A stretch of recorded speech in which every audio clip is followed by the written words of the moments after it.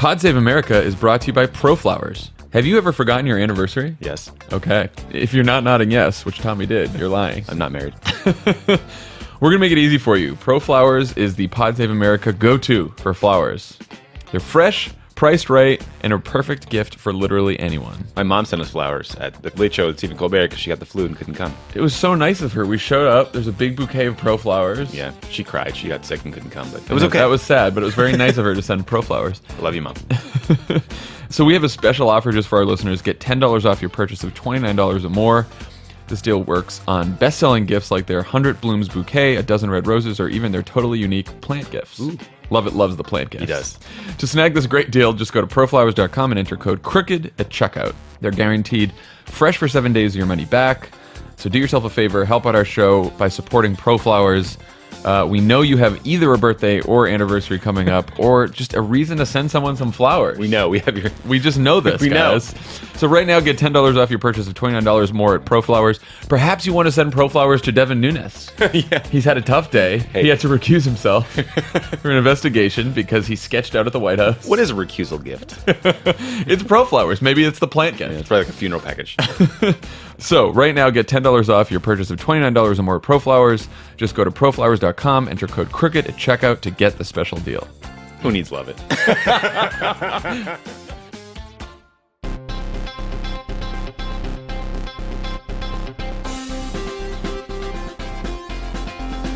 Welcome to Pod Save America. I'm Jon Favreau. I'm Dan Pfeiffer. On the pod today, we have a packed show. We'll be talking to the president of Planned Parenthood, Cecile Richards. We have special guest, Obama's deputy national security advisor, friend of the pod, Ben Rhodes. Will be talking to us about unmasking, and the host of Crooked Media's With Friends Like These podcast, Ana Marie Cox. We've basically become like Morning Joe here today. Oh, I, I haven't have I not yet told you Donnie George is going to be showing up in your New York studio moments from now. Can I be Willie Geist? And Tommy's here. Willie Geist is here. I'm not going to talk. I'm just going to hide in the corner. Tommy's playing. Lovett so mad he's not here today. we told him he couldn't come.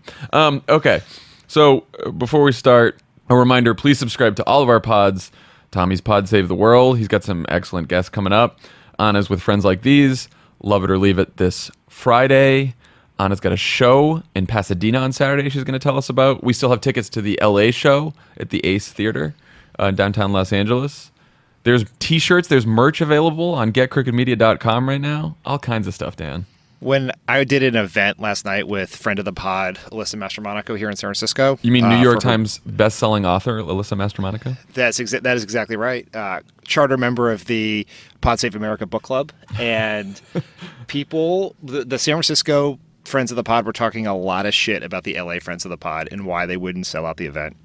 Oof, that's rough. I'm just I'm just saying. I mean, I, I, I don't know. I guess I'm gonna have to work harder down there.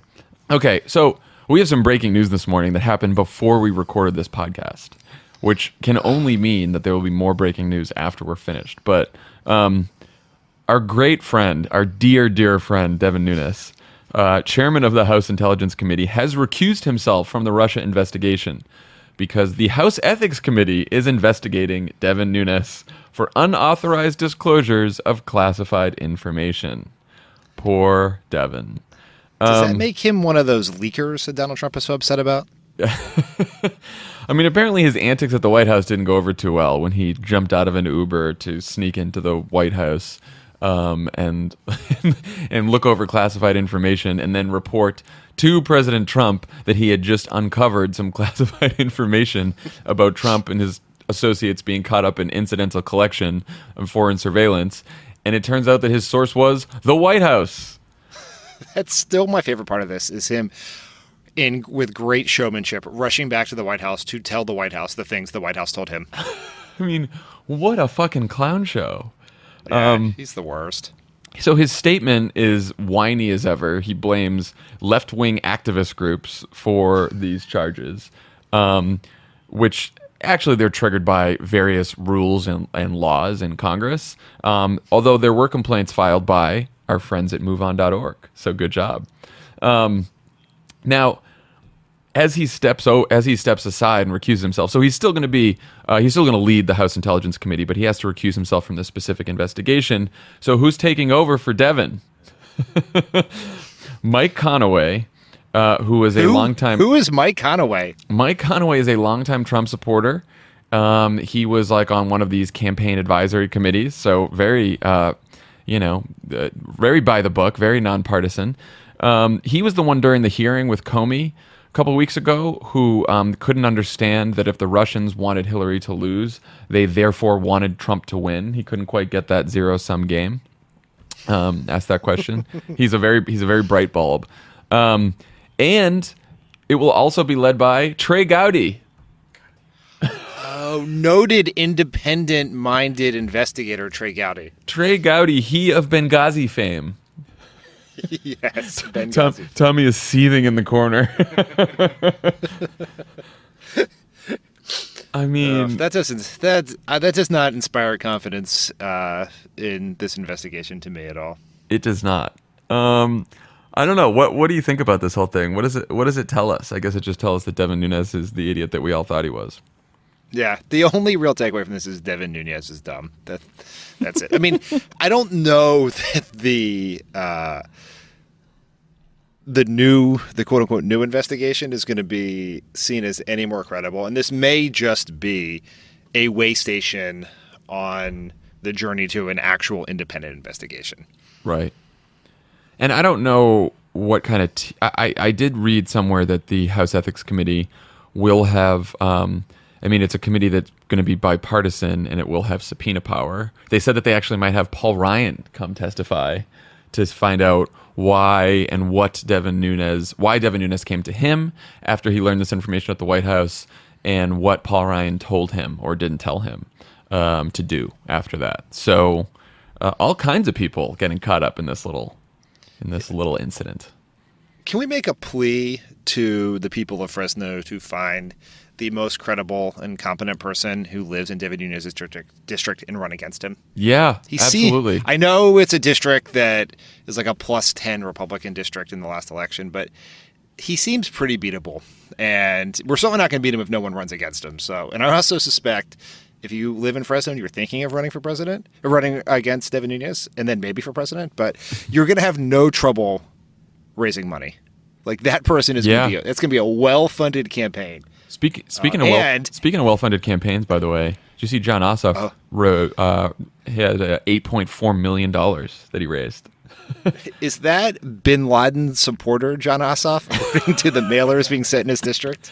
Yeah, it was a long journey from Jon Ossoff from aspiring Jedi to uh, to dangerous Bin Laden operative. You're going to get destroyed in your mentions for suggesting that Han Solo was an aspiring Jedi. No, I'm saying Jon Ossoff was. No, no, no. Yeah, that's, that's what I mean. That's what I mean. The Jon Ossoff.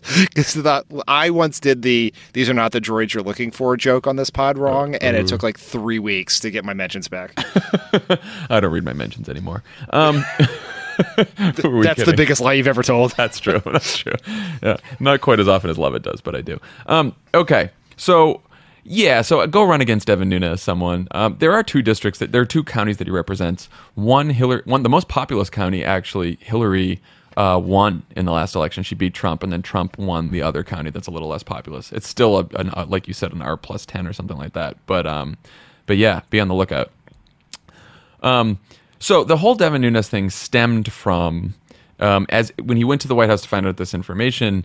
We now know from this last week that it was about the unmasking of certain officials uh, reportedly tied to the Trump transition team, uh, who were incidentally caught up in foreign surveillance. Um, Eli Lake of Bloomberg News reported that the Obama official who had requested that these um, unnamed identities be unmasked to find out who they are was Susan Rice. This has resulted in a whole pretend fake scandal on the right and in conservative media over the last week now. And um, we have been flipping out about this for a couple days. And uh, you and I were just going to talk about this ourselves, but we thought, why not bring Ben Rhodes on? He's the Crooked Media unmasking correspondent. Yeah. so we're going to call Ben and we'll be right back. This is Pod Save America. Stick around. There's more great show coming your way.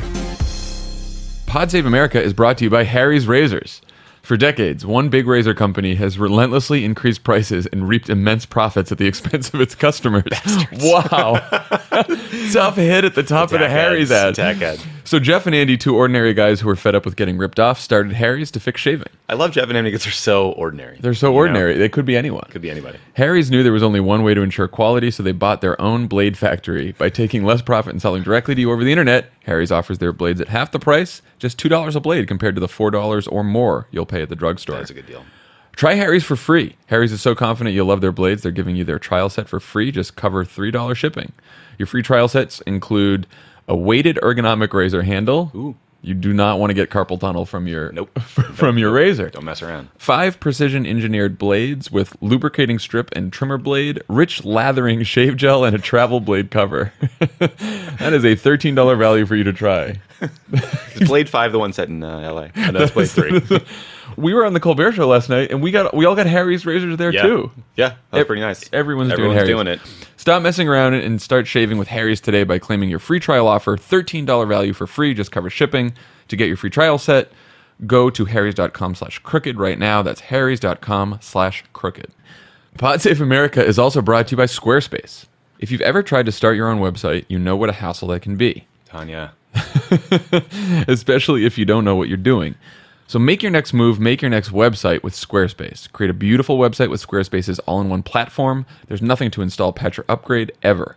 Squarespace provides award-winning 24/7 customer support and will get you your own custom domain with an experience that's fully transparent and simple to set up. Squarespace is used by a wide range of creatives, people, and businesses: musicians, designers, artists, restaurants, podcast host. I should set up a Pod Save the World Squarespace page. I really should do that. it's easy. It's absurd that I haven't. There's nothing to install, patch, or upgrade ever. Oh, That's what they say here. I don't know what I'm doing. So make your next move, lock down your domain, and create a website to launch that idea. Use offer code CROOKED for 10% off your first purchase of a website or domain.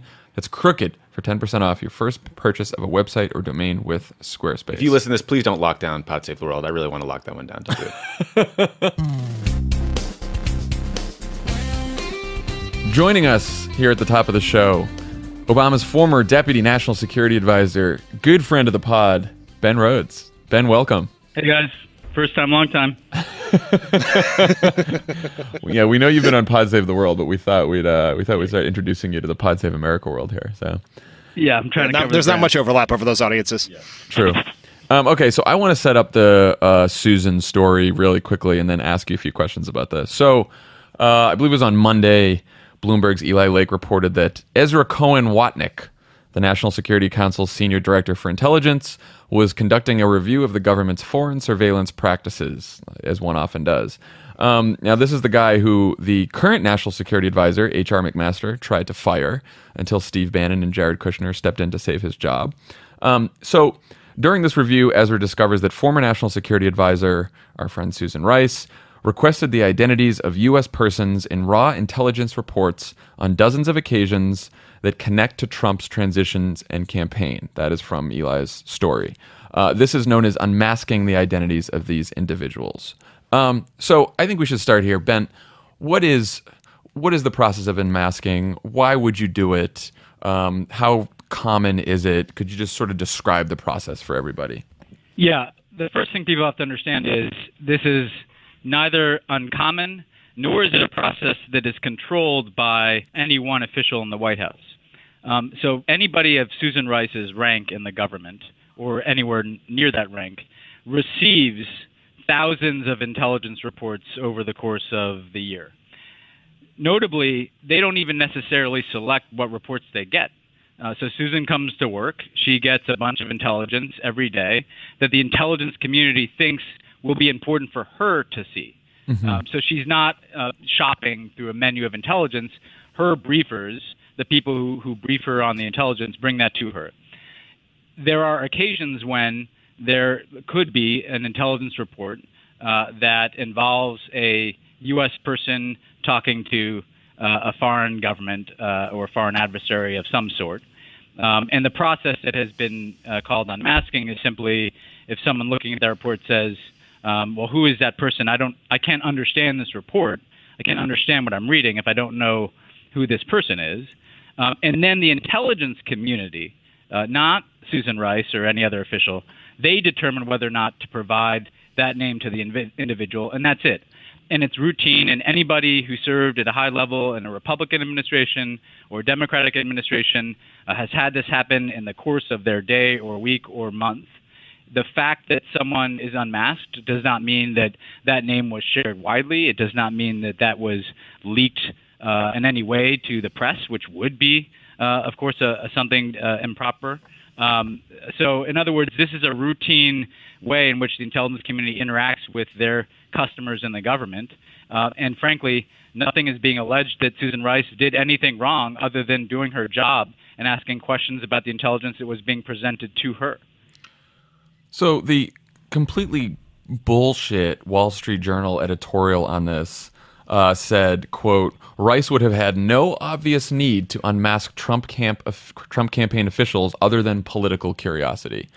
So that's that seems wrong in at least a dozen ways, right? That's simply not the case. If you are being shown intelligence that the intelligence community has determined is important for you to see, you want to understand that intelligence. Um, so, you know, it, whatever the report is, let's say it doesn't involve a U.S. person, you're going to ask questions about it. Well, what does this mean? You know, why is this important? Uh, so, similarly, if the intelligence report, and I'm not even familiar with the reports that they're referring to, but if the intelligence report had a, uh, a U.S. person, um, it, it's only natural that the person being briefed on that might say, well, wait, I don't fully understand what I'm being shown here. Who, who, who are we talking about here?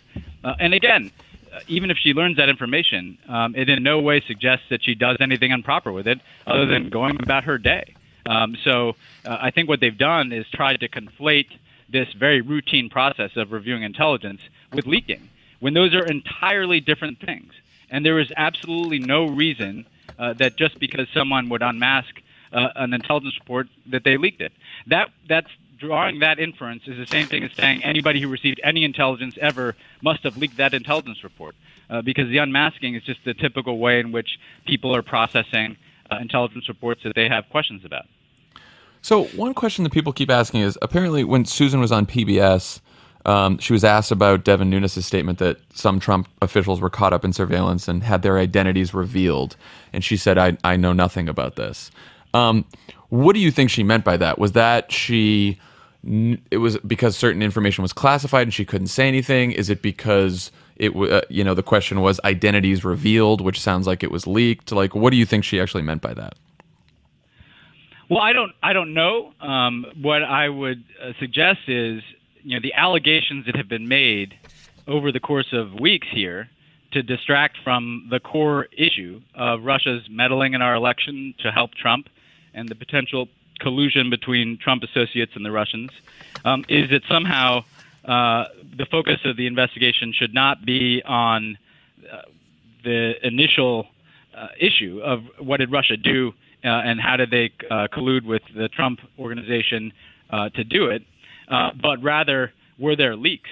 Um, and so I think Susan has no, you know, nobody has any idea how information is, is leaked uh, particularly right. when you have a report like Adam Entous that says there are nine officials from across the intelligence community and the government who are providing this information. So I think uh, uh, the, the point is uh, that the processing of intelligence in our government uh, does not in any way make clear how information was leaked. So, Ben, in the bubble of idiocy that's made up the conservative media's discussion of this story, it's become conflated with this idea that this means that the Obama administration was surveilling the Trump campaign, the Trump transition. Can you sort of explain just generally how a Trump associate could have ended up um, in some of these reports? Yeah, I mean, and we went. First of all, let's step back and let's talk about what really happened here.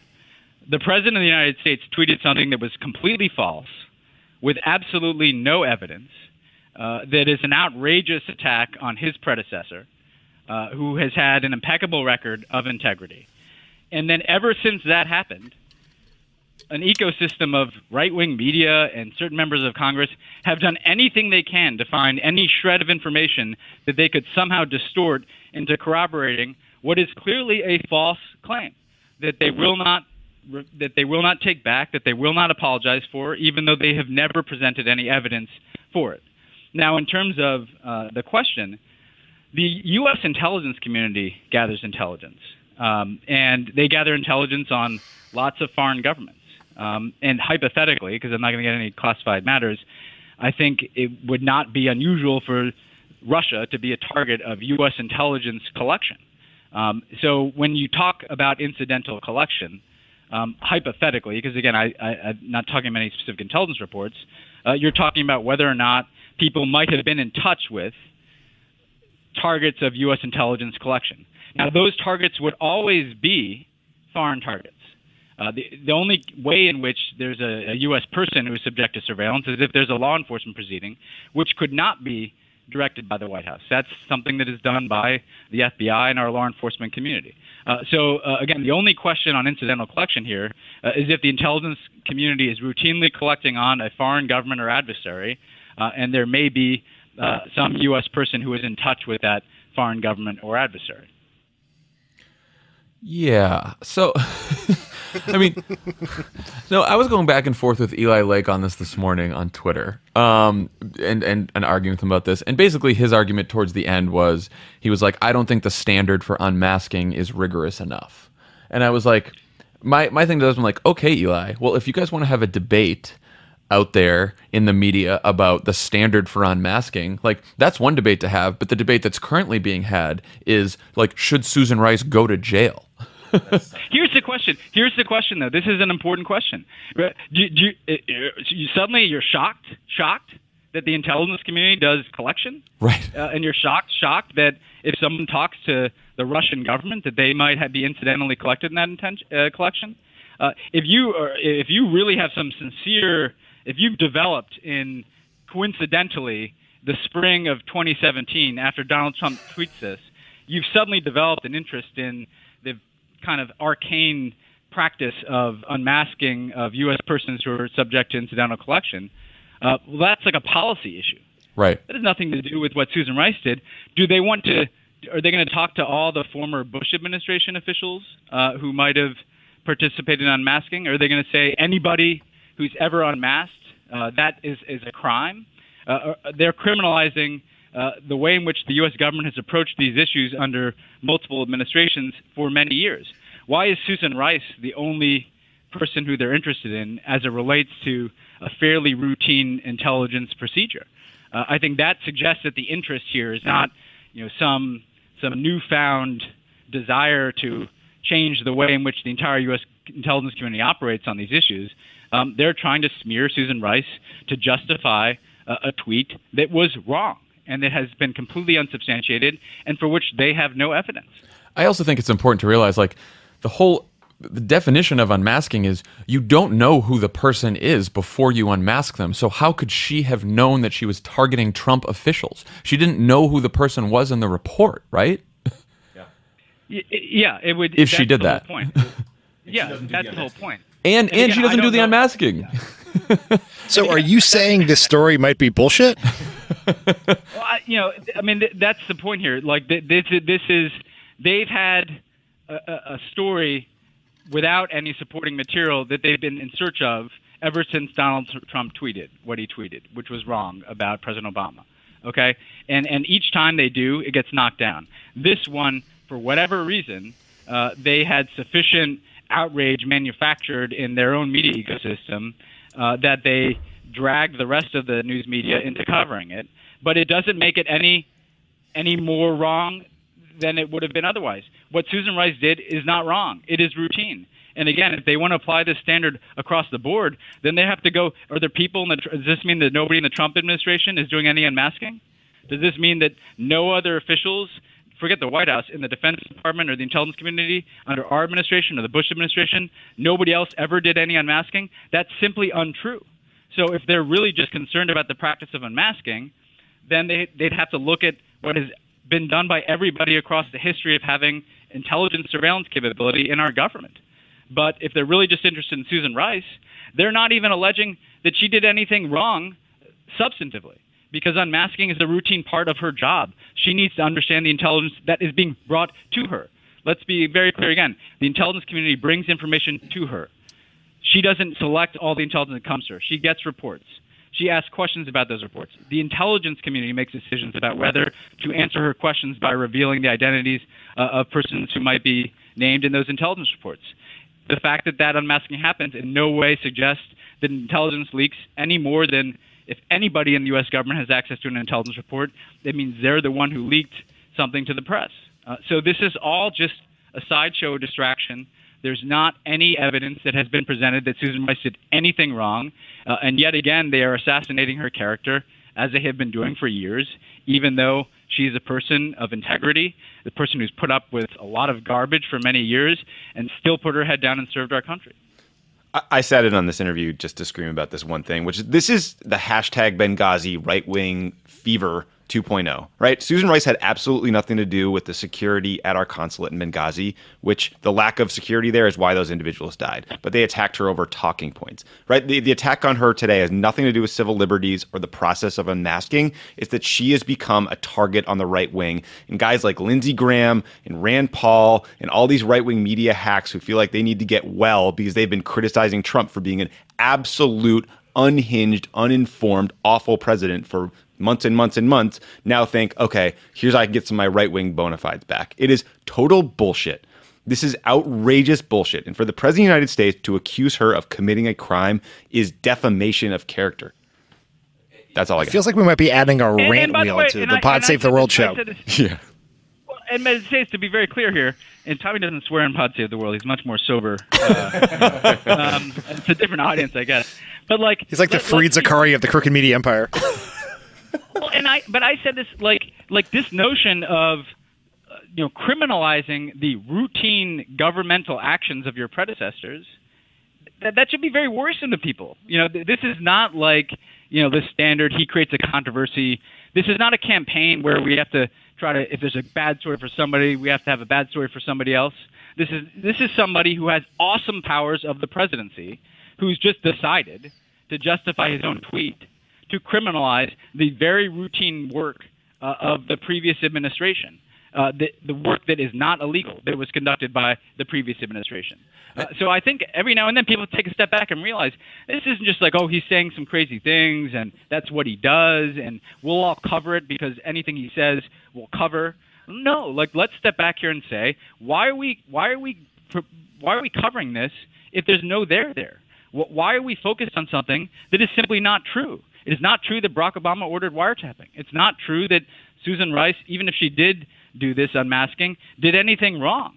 So, so what is this really all about, other than an effort to make the Russia story about anything other than the Russia story that is there, which is Russia interfered in our election to elect Donald Trump, uh, and there is an investigation that we've been told publicly by the FBI is ongoing into potential collusion. Yeah, I mean, and what gets what drives me really crazy is this is not just like Trump saying crazy things like Trump does, and then like Breitbart and Infowars and Sean Hannity like pushing it. This is just about every member of the conservative media is all over this story. This is the Wall Street Journal editorial board. This is the Weekly Standard. This is the National Review. This see- they're all like, and this it's bleeding into the mainstream media too, right? Like because they all scare mainstream media journalists into saying you're not covering the Susan Rice story. Why aren't you covering the Susan Rice story? And so then they do it because they're worried about this pressure, and the pressure fucking works, and it's Well, unbelievable. When did when did the Pizzagate guy become the assignment editor for the New York Times? Like, this, is, this is crazy. Well, You and know, I'll say I read that I read that whole transcript with Maggie and Glenn uh, with their interview with with Trump, and like it, they did fine, but like I do not know why Glenn Thrush had to use the word crime when he asked Donald Trump, "Did she commit? Do you believe Susan Rice committed a crime?" Glenn could have easily said, "Do you think Susan did something wrong? Do you think what she did was unethical? Do you th-, you know?" And he, there was no reason to say the word crime, and that that and then of course Trump's going to say yes because Trump's a fucking idiot, and he's going to say yes to something like that. And now it's in headlines. Now crime is in the lexicon. Yeah, I've really, I've really wrestled with that with the Thrush thing because it's not, it's not Glenn Thrush's job to understand that Donald Trump to like understand that Donald Trump's a child and Right. say yes. I get to that. it, right? So, I mean, so he's sort of doing because it really he, the question goes to like whether it's serious or not, right? Is if you're pissed about this thing, did she do something illegal? And the answer is obviously no, but Donald Trump's too dumb to know that. Um, so it's sort of like by asking the question, he basically led Trump into accusing Susan of a crime. But do you adjust your questions because the person you're interviewing has the intellectual curiosity of a third grader. I get that. I'm just wondering, That's- like, I'm where sorry, the word un- crime that's unfair to comes third from. graders. You know, like, why? Yeah. Why do you even? Why Yeah. are we even at the word crime? There's, there's, there's nothing she did wrong. It was her job to do unmasking. But my point is that, like, I'd say a couple things. One, if he's a candidate and he just pops off like that, it's one thing. But if you are, you know, and maybe you want to get him to say something newsy. But if he's the president of the United States and he's saying that this is a crime, that's a different matter. When it's not a crime, and he presented no evidence that it is. The, the second thing that's concerning is we know because of the conservative me- ecosystem that they've built that anything he says, a, a, a large percentage of the country will just think it's true. And now Susan Rice has that hung around her neck, and that the New York Times helped enable that. And look, I have a lot of respect for, for Glenn and Maggie. They've done some great reporting, and it's a tough it's a tough thing for them to to, to, to deal with. Totally. But the other thing that d- distressed me in that interview is when he's like, "You haven't written enough about this. You know, you must write more about this." Who is he to tell them? You know, like, sure, we tried, we advocated. You know, we liked stories told. We were in communications offices, um, but this notion that like because something is being covered by Fox and Friends, that it has to be covered by everybody else. I I think that that can be rejected. I sound like Barack Obama rejecting notions here, but I think that that can, I think that that like there's no reason that just because like you've created a wildfire from Infowars and Fox and Friends that that has to cross you know cross the guardrails into the rest of the media covering it just because it's being covered. Yeah, and I, and like I, I do have respect for Glenn and Maggie, and especially like when you read the transcript of that full New York Times interview, if you can get through it without thinking that you've gone completely insane, it's like they have to sit there and interview someone with the capacity of a four year old, really, and that's that's like I, that, no offense to four year olds. He had six people babysitting him for that interview, including the chief of staff, the vice president, Gary Cohn. Six staffers sat in on that interview. Go read every all, all conservative intelligentsia. Go read that full interview and and and and you let me know that you're safe with Donald Trump as president. Go ahead, go read that. The thing that's so funny about the staffing is when we were in the White House, you basically drew short straws to see who had to staff the president for the interview because you're just sitting like a potted plant for 45 minutes when you could be doing real work. Right, And go certainly, nod. the vice president never staffed an interview in the history of of time. Okay. Well, we're gonna have to go because we, we have to go talk to Cecile Richards now. That was fun, though. we, she's gonna be calling in, and we're gonna talk all about activism and all kinds of other good, hopeful stuff. But um, man, thank you, Ben, for helping us unmask this. Yeah, that's what I'm here for. all right, man. We'll talk to you later. Bye. All right, see you guys. Uh, so before we get to Cecile, um, let's talk about zombie Trump care.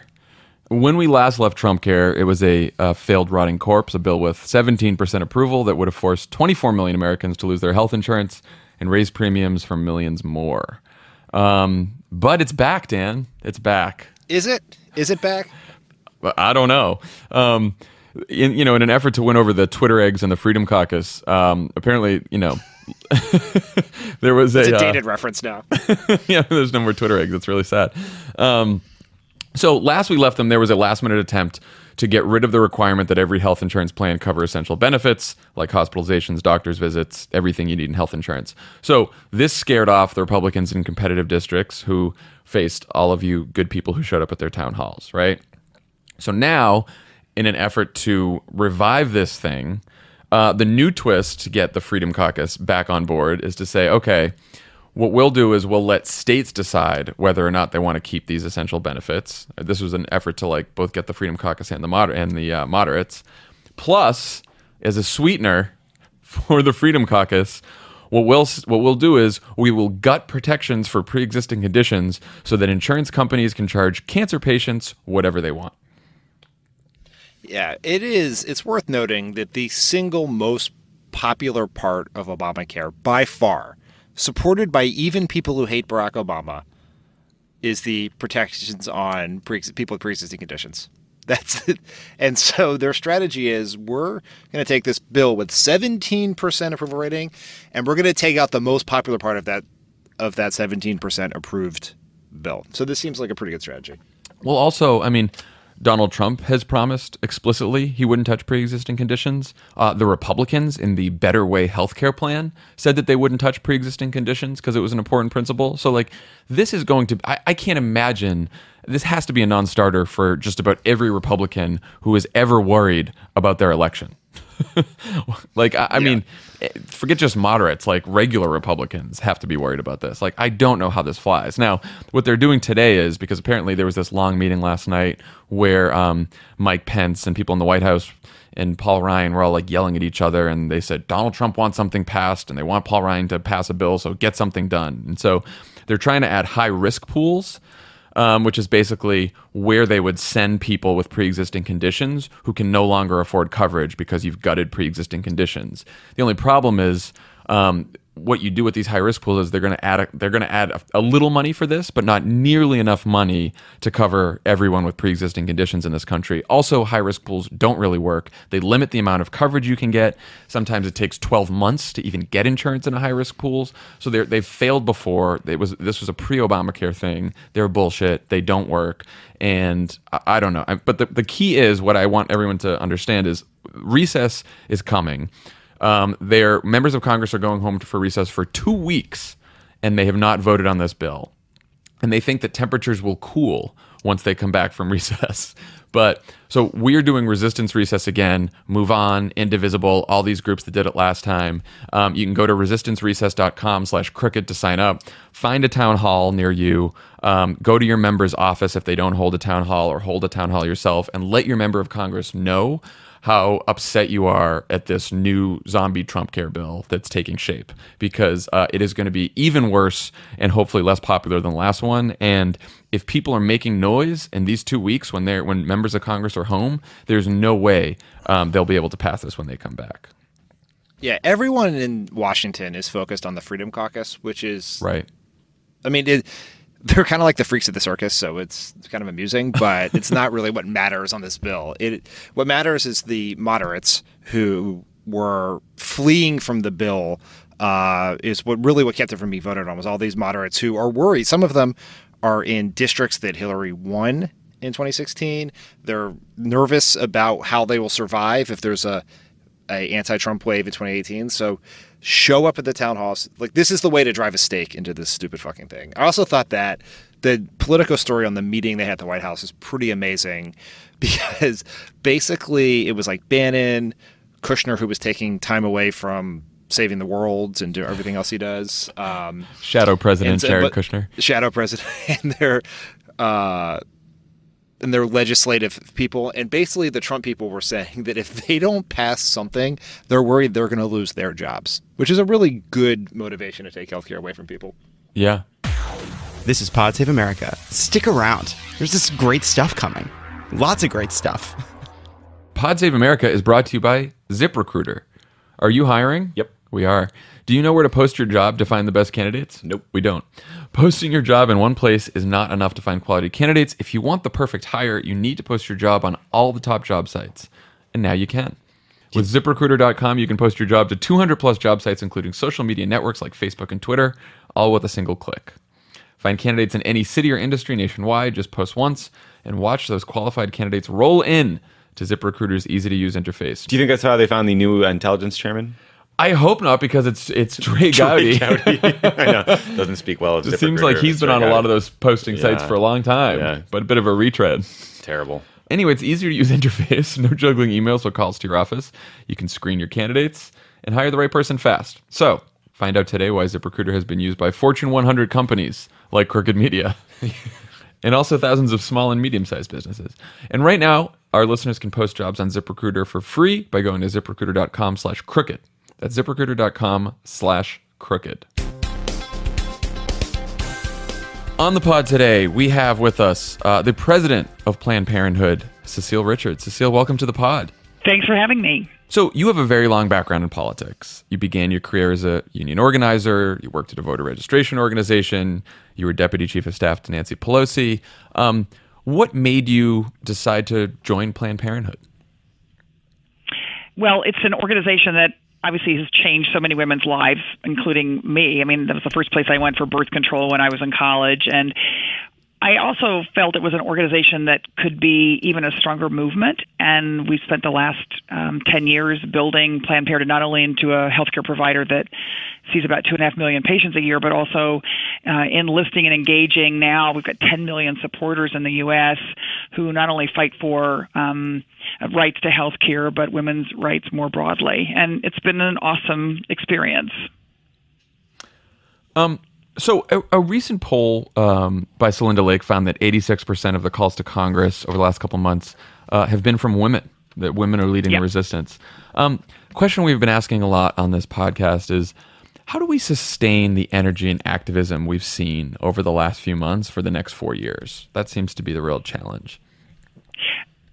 It is a challenge. Although I'd say if if any group probably gets the uh, prize for resilience, it is women, as I feel like women have been in this fight for a long, long time. Uh, and I, I mean, a lot of people ask me now. They were they went to the marches or they saw the march, and you know that was obviously such an important moment that day after the inauguration. I think those marches were really they they took place because women knew there was going to come a day when we'd have to really fight with everything we've got to protect not only women's rights but women's lives and obviously that day is already here. So I think these last 3 months have been very very tough in terms of this administration and this Congress. And but the the really good news is to your point women did not quit after they knitted their hats and went to march. I mean they have been showing up at town hall meetings.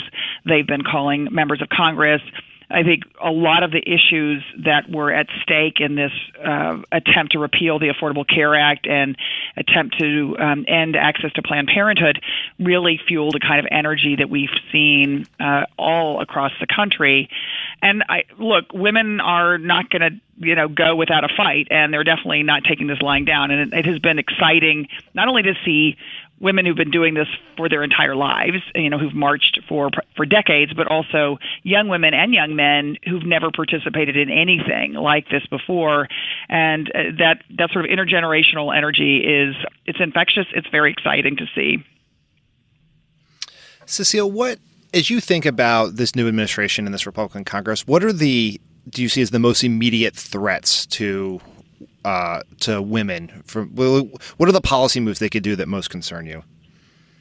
Well, I mean, every single thing this this government has done or this administration has done, I think women have been probably the the uh, on the receiving end. Uh, so certainly the efforts to repeal the Affordable Care Act. That I mean, that whole the, the Affordable Care Act was really a bill, um, a piece of legislation that improved women's access to health care. And so that was an immediate threat. And as you know, you know, the they had predicted that this would be on the president's desk January 27th, and ever since it was proposed, uh, and ever since the defunding of Planned Parenthood was proposed, I think women have been throwing sand in the gears, you know, really speaking up and trying to prevent it because it was not only was going to take away health insurance coverage for millions of um, Americans, millions of women, but it also was the it, would you know as we've now heard from many of the negotiations that were going on, and I, I assume will continue to go on now with the Freedom Caucus and others, it would have ended women's um, access to maternity benefits. Um, there are proposals to, of course, get rid of the the gender rating um, protection that we've had, which allowed women to not have to pay more for health insurance than men. I mean, there was a proposal in the recent iteration that would have said that women on Medicaid who had a baby would have to go back to work within two months or lose their med- their medical benefits. So I think the you know the loss of affordable health care, and then, of course, the, the attempt to block women from coming to Planned Parenthood, these are all huge economic issues for women. And I think that has been the clearest first signal. But look, it's not limited to that, as you know. I mean, they've, you know, they've stepped back on the kinds of protections that we put into place under the Obama administration on sexual harassment and on wage discrimination. Globally, I mean, they have well, the list is very long of the kinds of things that they have done that are not only going to damage women's access to family planning and health care, but literally women are going to die as a result of some of these policies. And uh, so I think that's why you're seeing so much energy. So it, has been reported that, um, and we don't know if this is going to happen yet or not, but that the Freedom Caucus um, will refuse to fund the government unless Planned Parenthood is quote defunded. Um, first, can you talk about that shorthand defunded because I know that's a bit of a misnomer. But then more broadly, um, what do you plan to do about this? Okay, I'd love to um, address both those things because first, yes, it's completely fictitious that there is a defunding in the sense that we're not in the federal budget. Mm-hmm. So when Paul Ryan says they're going to defund Planned Parenthood, what it really means is they're saying we're going to actually block through legislation the ability of patients to come to Planned Parenthood for preventive health care. And that is important for folks to understand because we at Planned Parenthood operate just like every other hospital or healthcare provider in that we get reimbursed from the federal government when, when we see patients for preventive care. Not abortion services, because those aren't paid for by the federal government, but this is basically blocking folks from coming to us for family planning, you know, well woman visits, cancer screenings, uh, and the like. And we see about two and a half million patients a year, and half of our health centers are in medically underserved communities. So basically, what Speaker Ryan is trying to do is say to folks who choose Planned Parenthood as their healthcare provider, you can't go there anymore. And that is what has literally, I think, fueled the outrage because one in five women in this country has gone to Planned Parenthood for health care. Uh, there's really not anybody in America who hasn't somehow uh, been touched by this this organization. So that's what the fight's over, and um, and also it wouldn't save the government a dime. In fact, it would cost the government money because of the. I mean, even the CBO has been very clear about this of the loss of health care coverage for women and the rise in unintended pregnancies um, as a result.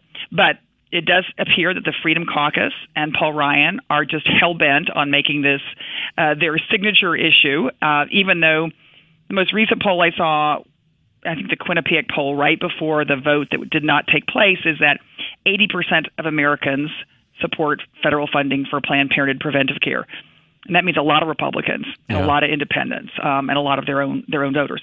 But we may get down to this. Um, as you, as I'm sure you remember, uh, the Republicans tried this under President Obama, and he was such a stalwart champion, not only of Planned Parenthood but of women's health care, that he literally said, "Nope, it's not going to happen." Um, but now, you know, anyone who votes in this Congress to end access to Planned Parenthood, that it's it's not a free vote anymore. Uh, it's a vote that literally could end access to care for millions of folks in this country. Um, the, the Daily Beast this morning reported that you uh, had a what they called secret meeting with Ivanka Trump in January. Um, what can you tell us about that meeting, and do you think uh, do you think maybe it had any effect on Trump's thinking on this issue? uh, well, I mean, because I, you know, she reached out, and of course, I'll talk to anybody about Planned Parenthood yeah. any day, and I thought it was important that she understand, like, who we see how devastating it would be for women if, in fact, um, the Republicans push through a um, and you know this blocking of folks from coming to us for health care. Explain to her how Medicaid works. Explain to her the fact that there are no federal funds for abortion services, because all, all the all the other myths that are out there, um, and it doesn't seem to have had any impact in that. I mean, the president himself has tweeted about Planned Parenthood, although I guess that's a that's that's not a big distinction, I suppose, anymore. But um, it, you know, I, I think that the, the truth is, you know, every attack that they've made on us has only increased our popularity because you know because folks are now focusing on oh God, what would it mean if there wasn't an affordable health care provider for women anymore in my community? Um, so, but we will continue our efforts to educate everybody in Congress and anybody in the administration that wants to listen about uh, why we're an, uh, an organization that so many folks count on uh, and that you know we've been around we just celebrated our 100th anniversary and um, we're gonna we're gonna be around for 100 more years you know, we hear from our listeners and other people all the time who are looking for ways to get involved. It's a way to be, you know, be part of the quote unquote resistance or yep. people who are motivated for the first time in politics. And how should people who want to get involved and help Planned Parenthood do that? I'm so glad you asked. Uh, so I've got a couple of ideas. Great. Um, one is you can sign up actually on our website to be a defender of Planned Parenthood. We have thousands of people who we are in touch with regularly about what's up either in their state, because of course all the fights aren't federally. You know, they're they're in uh, state legislatures all across the country. The other thing is your listeners could do is text fight, the word fight, to 22422. And that way you can be part of our mobile action network. Um, and I mean, we have been uh, overwhelmed by the number of supporters who've joined up, so that's really exciting. Um, we've got folks in every single state, every single congressional district, uh, and and again, we're mobilizing people to call their call their members of Congress because this this is going to be ongoing. I think as you as you reference, this is not a sprint. This is a marathon. This is going to be at least a four year campaign to protect access to health care but I've been really excited. Again, I think a lot of folks thought after the after the march, well, what's going to happen next? But it has been. We've seen, as you probably already know, you know, record numbers of calls going into Congress. And for anyone who's listening, it makes a difference. I spend a lot of time now on Capitol Hill talking to members of Congress, um, spending time in the Senate, and it absolutely makes a difference. Uh, and it makes a difference when folks go back home, as they will here for a couple of weeks and they see you know women in pink pussy hats and uh, other folks talking about the important care they received at Planned Parenthood. Um, that's really been gratifying, and we've had a ton of patients who have spoken out at town hall meetings, sometimes in very to very hostile members of Congress about their own experience, you know, cancer survivors who had their cancer detected at a Planned Parenthood. Uh, we think it's important that, that members of Congress understand the impact of what they are considering here. And I, again, I think it was um, at least uh, in part why so many members of Congress, Republican members, refused to support um, Trump Care or this most recent iteration of, of Trump Care. Uh, one last political question for you because you are a Texan. Um, I am a Texan. You are indeed. a Texan, and I wear it proudly. And we're yes. we're obviously all very interested in turning Texas blue. Uh, we know some folks who are working on doing that. How do you think it's going down there? How do you think the um, the Democratic Party's doing? Sort of the the progressive movement in Texas. Um, I know this is a long project, but um, what kind of progress have you been have you been seeing down there? Um, it is a long project. It's true, uh, but I, I look. I think that the future is definitely um, going to be much better for folks in Texas.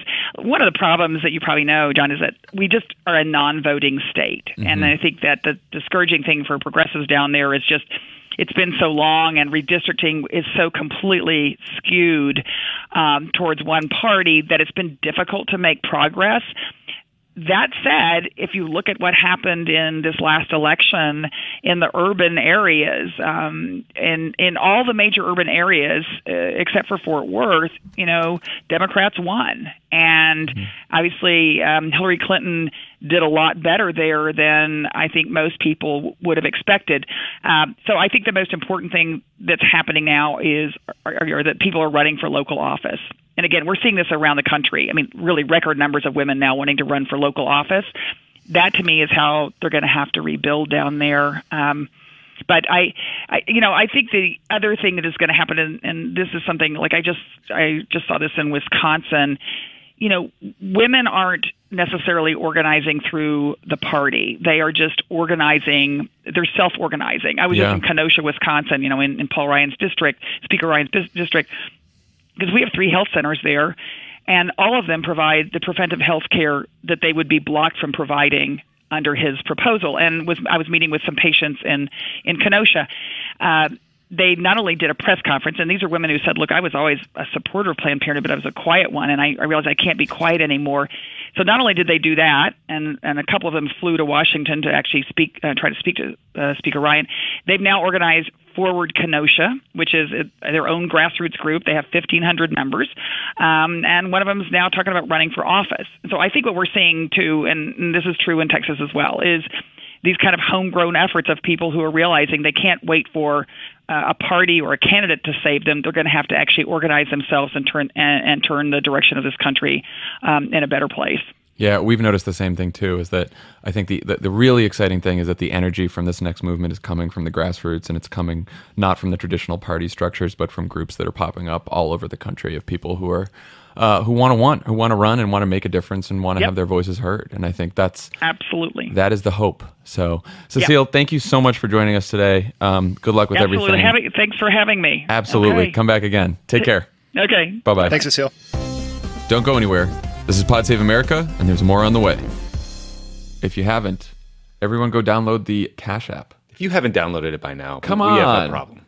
Dan Pfeiffer just used the Cash App to pay for uh, to pay for housing at uh, at my wedding. Oh no way, really? Emily asked him for the money, and he said, "I hope you have the Cash App, Emily, because that's how I'm paying you." she was like, "Of course I do." Yeah, and she immediately literally downloaded it, my rent. and that was the transaction right there. he was excited to tell it on today's pod, but he's not on the phone yet. Yep. Anyway, it's the simplest way to pay people back. Download the Square Cash app. You get money deposited instantly into your account, so you can download the Cash app for free on iOS or Android today.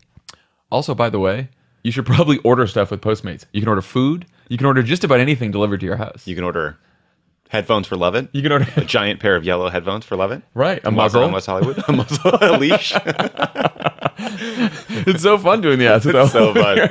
I get to talk. Anyway, download Postmates. If you haven't used it before, put in the code CROOKED. You get $50 of free delivery. It's awesome. It's great. On the pod, we have the host of With Friends Like These, Ana Marie Cox. Anna, what's up? No, I am. I am. I am in. We are like nearish each other. I think here in the same city. So good, hello, Oh, yeah, that's right. hello from like across the island. How are you? Do you want to just, I'm- should we make our plans to get together now on the phone? people like that? Just let everyone hear Pennsylvania, this out. right? We'll give Like a time and a place for all of Yeah. our listeners. It's basically a it's a pod- it's a crooked media flash mob situation. Excellent. Um, Just between you and me and a couple, you know, tens of thousands of people. I'm sure Yeah. it'll be fine. All right. Okay. Um, so let's start with um, a- another friend of the pod, Jared Kushner. you uh, you wrote a piece this week about Jared Kushner called "Too Connected to Fail." By the way, great headline there. I love that. Yes, I have to um, uh, give a little tip of the hat to Dan Drezner, the uh, Washington Post uh, columnist and professor at the Fletcher School. Um, he and I were talking about Jared, and he's he's the one who sort of uh, led me to that phraseology. So I will connect that he he came up with it. He's also I shall uh, plug him. He has a book out right now called The Ideas Industry, I think, Oh. which actually gets at some of the things that Kushner's you know weird, sudden rise to power um, kind of uh, puts into the conversation, which is that we're a fetishization of business as a source for ideas and thinking that you sh- that government can or should be run like a business, um, and also the idea that outsiders to government will have some kind of insight that people on the inside don't have. Um, we, I'm curious. I'm curious. What do you think?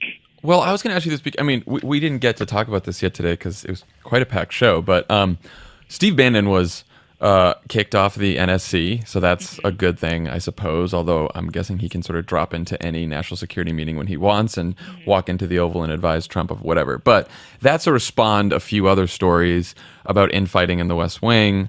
Maybe rumors that Bannon's on the outs. Um, a couple sources that said he threatened to quit over this NSC thing, getting kicked off the NSC. Um, and he's been very angry that Jared and Ivanka and the New York and Gary Cohn and the New York set has been sort of gaining power, right? Um, so this led, of course, of course, to uh, in Axios this morning, them saying that like. So like the normal camp, right, is like Jared and those people, and and they're doing traditional things on healthcare because like a traditional thing on healthcare is to like you know take away 20 take away healthcare for 24 million people in gut pre-existing conditions very mainstream um, and foreign policy in china and all this stuff and so you know maybe eh, there's this sort of notion that these are the these are not the good guys but at least the moderate guys in Yeah. charge right or the moderate gang because it includes ivanka and and dina powell as well um, but I don't. I mean, I don't know. What do you guys think about this? I don't think I, I don't sleep well at night, know thinking that like Jared Kushner is running the show. Yeah, Dan. Wait, I mean, I can go. I mean, I, I have not. I mean, he's 36 years old, so that in and of itself is a problem. And then the other problem is that his portfolio is just—it's either a lie or it's inhumanly possible for him to be in charge of everything he's supposed to be in charge of, which is everything from opioid epidemic commission to um, streamlining the government to apparently, you know, overseeing um, this uh, visit from the Chinese, which, by the way, the reporting on that has been interesting. It's that the Chinese are totally comfortable with Jared being the point person because in China there is a tradition of what they call princelings.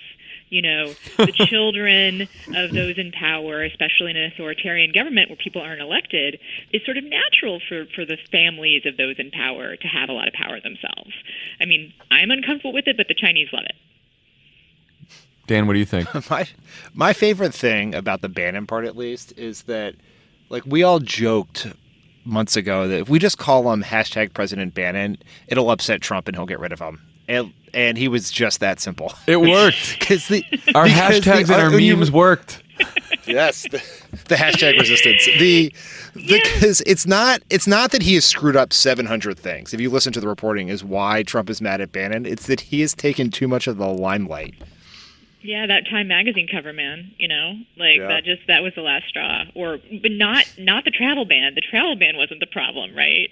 It was calling it was hashtag President Bannon, and that is terrible. And I you know, and I also want to point out, it's terrible that we're. It's kind of terrible that we even have to talk about this. Like you guys can speak to this. How often did did we really talk? Did did the media discuss the makeup of the National Security Council during the time you guys were in Washington?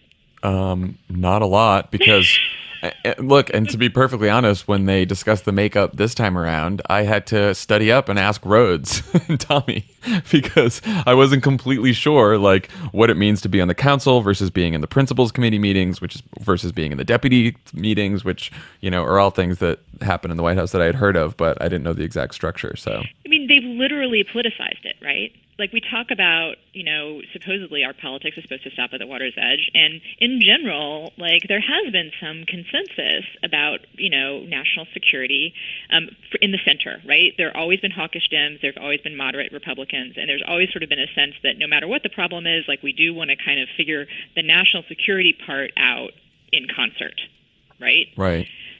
and this is it's not just not only are we polarized to the point where that where national security and it's a larger issue is hard to discuss they can't get it straight in their own fucking circle Well, I'm like, let's be honest. with, Like, uh, yes, Jared Kushner's 36. Like, you know, I have biased hair. I'm 35, but I also like don't think I should be shadow secretary of state anytime soon, right? do you think one of obama's made mistakes was not putting you in charge of middle east peace I think that's it. It would be, would be all taken care of by now. Um, but it, it's not just the age; it's like the lack of any kind of experience or knowledge of any of these things whatsoever. Also, let's remember, like Jared was there every step of the way during. Uh, what was an incredibly racist, sexist campaign filled with conspiracy theories, right? Like he supported it all. This is not some person who's going to save us in any way, right? Um, also, like you know, to pay, if you want to pick anyone to like help with Trump's populist new working class base, I don't think Jared Kushner and fucking Gary Cohn are the guys that you want to go to. Yeah, I mean it's a, it's bizarre actually. You know, like what has happened if, if if what we're seeing in the White House if if the reporting is in fact true and who knows like all these competing leaks and stuff like i now kind of miss how the obama people used to just tell us to fuck off right? Like that was always the answer you guys gave me when i wanted when i wanted inside info. Um, i kind of miss those days. I miss not knowing exactly what's happening inside the white house. Um, uh, but you know apparently it's the populist you know alt-right people versus like the plutocrats these, Right. this is not that's not a good solution you know Yeah, that's why I keep saying it's it's the it's the rich versus the racists in Yeah. the Trump White House. we, we, you know, like I don't know how we're expected to like find any good policy among them, and and there is this sort of strange. I mean, I feel like I, I have to point out, like I think that people give Jared and Ivanka all this credit for being supposedly more moderate, and it's based entirely on style points. yeah, of You know? course it is. Yeah, it, it's it's it's because they're just not vulgar. It is also a it is a DC New York media bias towards like Manhattanite socialites, right? Like mm-hmm. it's like, you know, they're pretty people and they seem like they mean well and they talk to all the CEOs and you can reach out to them and they say the right things and they're going to be okay and it's like, you know, it's sort of a load of bullshit. Look at what's actually happened. So there's reporting now that Jared apparently was put in charge of Muslim community outreach. So Right. that went great. um, and Ivanka reached out to Cecile Richards, right? Did you guys talk about this? We just did. We just asked Cecile about it and she said that uh, it doesn't seem to have had an effect. well, also remember uh, Ivanka was going to be the climate czar too. She was going to because she very much believes in climate change, and now we're sitting here after you know Trump has ripped up all of the regulations that would fight climate change. So that didn't work either. I mean, what kind You know who Trump? Dystopian hellscape? You know who Trump should if he was hire there? is Jared and Ivanka's PR people because those are the only people who have any skill in this administration. Because every time something good happens, it's like it was Jared and Ivanka Oh my God! Did you guys or hear Javan who or actually Javanka Jared, as I call him. Jared did hire um, to do PR? Uh, who? It's the person I'm not gonna. I don't remember who it is name, but apparently it's the person who did PR for the Purge movies. Well, those movies did very well, so That is too good. Um, Ana, who do you have on the uh, who do you have on with friends like these this week? I have an actual old friend of mine, Tom Frank, um, the "What's the matter with Kansas" guy, as he is sometimes, you know, I think forever Yeah. associated with with that um, phrase, and also the conceit, which has turned out to be like one of the most powerful like political ideas of our time. You know, the idea that um, people in red states, uh, middle class and lower middle class people in red states, will vote against their economic interests if you can pander to them via social issues. Hey, it's worked. Yeah. Um, and he has a new book out called Listen Liberal, um, which is about sort of the problems of the of the Democratic Party to reach out to those voters and the professionalization of the Democratic Party and how it's kind of become associated with and seems to cater to the needs of people who are in, or knowledge workers and professionals and that you know labor and working class and working class people of color too. He doesn't unlike a lot of the critiques of this election. I think Tom doesn't really leave that part out of it Good. um, it's not just about reaching out to white working class; it's about reaching out to the working class in general. Um, and we talk about that, and also um, we talk about. I will be totally honest. There's some reminiscing about Tom and I's days back at WHPK at University of Chicago, Oh, nice. listening to punk rock, arguing about who sold out first, um, which used to seem really important. Um, but now I guess they're they're even. We long for those days. exactly. Um, well, everyone go listen. Everyone listen to that. That will come out on f- tomorrow, right? Tomorrow. tomorrow. And then also, um, anyone in LA should know that I am uh, doing a live version of the podcast in Pasadena at the Level Ground Festival, which is, I believe, level ground on levelground.org, um, on Saturday with Jeff Chu, who is a uh, gay person who also uh, came from an evangelical background and has sort of had a journey of making peace with his faith. And I think that's going to be a really interesting conversation. Awesome. Well, everyone go check it out. Um, thanks for dropping by. Yeah, always good. I we'll we'll see you later at the place with the thing. Yes, yes, at the time and location that we will. I'll be, uh, I'll be tweeting out the location of the meeting for all pod fans. Excellent. Thank you, Dan. All right. Well, everyone, we will um, we'll see you again. That's all we have for today. Quite a packed pod, but we will um, we'll talk to you next week. Bye, guys.